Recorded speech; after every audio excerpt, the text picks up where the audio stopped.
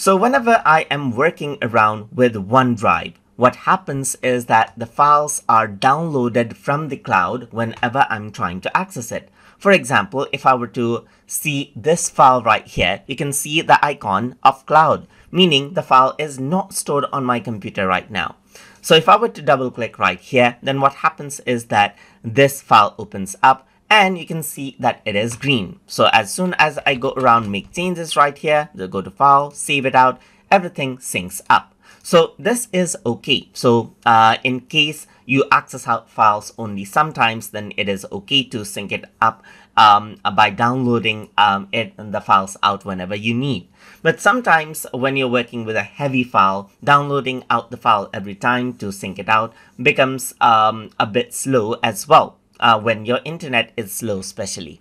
So for important files, you, what you may want to do is you may want to use the always keep on device option so that they're always stored offline on the device as well.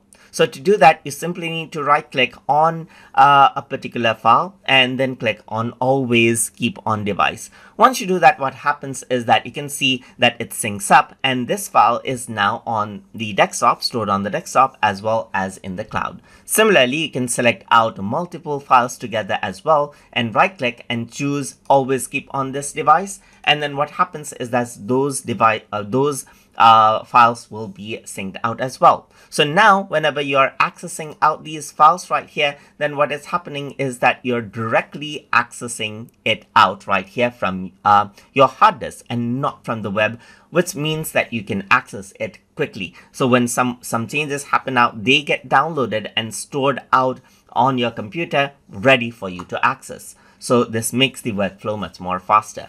And that's how you can utilize the always keep on this device option. And if you don't want, you can right click and uncheck this out as well. So it goes back to the previous state right here. So I hope you guys learned something as always. And as always, please like, comment, share, and subscribe.